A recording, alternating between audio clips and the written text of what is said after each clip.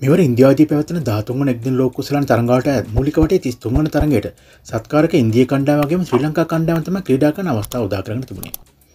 එම තරගේ ආරම්භ වන පෙර ශ්‍රී ලංකා කණ්ඩායම මෙවර එක්දින ලෝක කුසලන් තරංගාවලින් ලකුණු සටහනේ හත්වන ස්ථානයේ පසුව අතර ඉන්දිය කණ්ඩායම පසුව මෙවර එක්දින ලෝක කුසලන් තරංගාවලින් ලකුණු සටහනේ දෙවන ස්ථානයේ.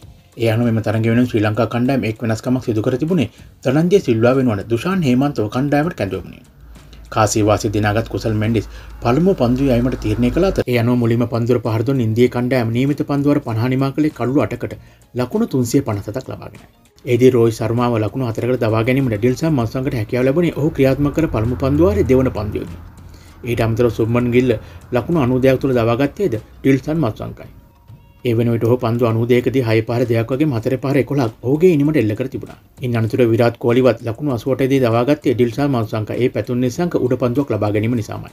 ඒ වෙනුවට කෝලි පන්දු 94කදී හතරේ පාර එකොලක් ඔහුගේ ඉනිමට ඇතුළත් කොට තිබුණා. කෙසේ වෙතත් මල්සංක ක්‍රියාත්මක කර හතරවන පන්දුවාරේ පස්වන පන්දුවේදී සුබ්මන් ගිල් ලබා දුන් උඩ පන්දුව චරිත අසලංකා අතින් ගිලී ගියා.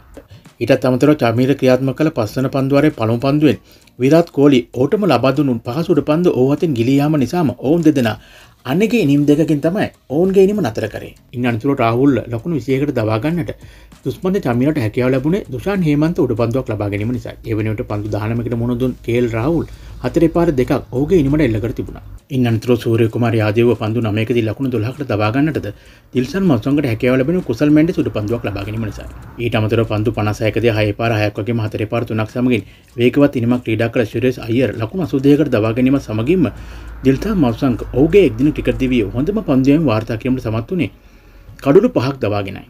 ඒ වගේම රවින්ද්‍ර ජඩේජා ඉනිමේ අවසාන පන්දුවෙන් දුවදී දෙවියනුවට පන්දු 24කදී කයි පාරක් වගේම හතරේ පාරක් සමගින් ලකුණු 35ක් ලබාගෙන තිබුණා. ජමීර පන්දුවාර 10යි නිලකුණු පන්දුවාර දෙකක් සමගින් ලකුණු 70කට එක්කොල්ලක් වගේම ඩිල්සන් මවසංක පන්දුවාර 10 නිමා කළේ ලකුණු 80කට කල්ලු පහක් ලබාගෙනයි.